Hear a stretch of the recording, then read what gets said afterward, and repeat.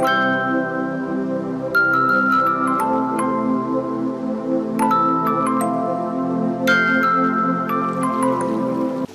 mừng quý vị và các bạn đã đến với bản tin dự báo thời tiết ngày 20 tháng 9 năm 2021.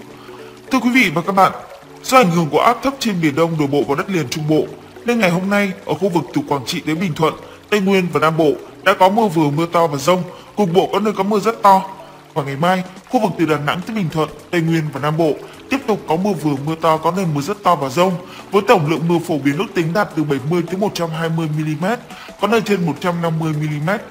Với xu hướng mưa nhiều như vậy thì nền nhiệt ngày hôm nay ở Tây Nguyên khá thấp, dao động trong ngưỡng từ 27 tới 29 độ. Vùng từ Thừa Thiên Huế trở vào đến Bình Thuận nhiệt độ không cao, duy trì trong ngưỡng từ 29 tới 32 độ.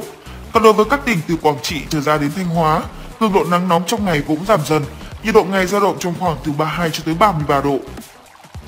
Khu vực Nam Bộ dù không chịu ảnh hưởng trực tiếp của hoàn lưu vùng xoáy thấp, nhưng cũng chính vùng xoáy thấp đã khiến cho gió mùa Tây Nam hoạt động mạnh hơn, nên nhiệt trong ngày ở Nam Bộ cũng duy trì trong khoảng thấp, dao động trong ngưỡng từ 30 tới 32 độ.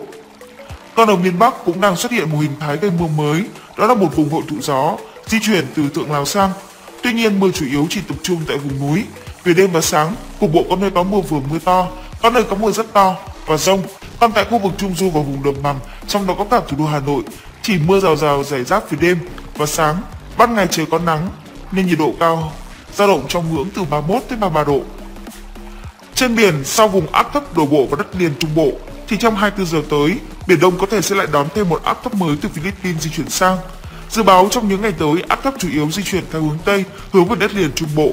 Khi tiến gần đất liền thì áp thấp có khả năng mạnh lên thành áp thấp nhiệt đới. Tuy nhiên, từ ngày 25 tháng 9 đến đầu tháng 10, dự báo sẽ có một đợt gió mùa đông bắc tràn về.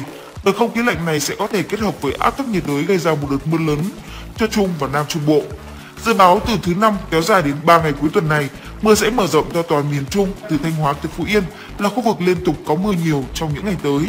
Và đây cũng là nơi cần cảnh báo nguy cơ xảy ra lũ quét sạt lở đất.